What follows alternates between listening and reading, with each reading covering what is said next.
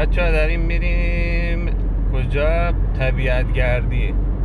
بریم یه خورده تو طبیعت جنگل های اینجا بگردیم. چرا که بعدش قرار بارون بیاد از این فرصت و استفاده کنیم.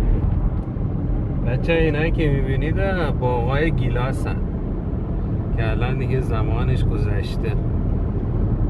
اینجا رو من خیلی دوست دارم. بچه ببینید اینا بهش میگن واینشتوکه اینا باشون شراب درست می‌کنن با انگورا اینجا.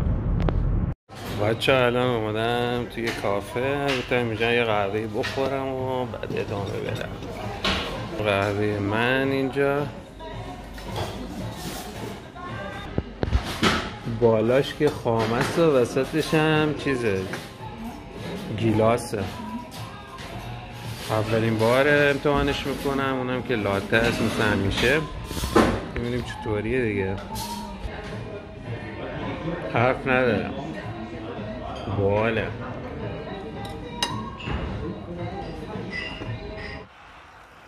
خب بچه ها ببینید این مسیری که من همیشه میرم.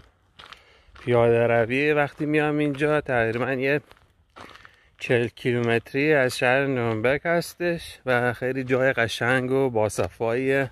ببینید بچه اینجا همش شماره گذاری شده. تا ببینید چه راه را قشنگ اینجا شماره گذاری کردن. چرا که اینجا خیلی بزرگه. و اگه یکی از این راه را اشتباه بری می‌بینی گم و گور شدی. تا بخوای حالا دوباره راه اصلی تو پیدا بکنی کلی طول می‌کشه. ببینید این ماهی که الان توی این دریاچه هستن مثلا این ماهی هشت روت آوگه یعنی چشماش قرمزه. اینم این نمونه ماهی هم هست. شبیه کپوره نه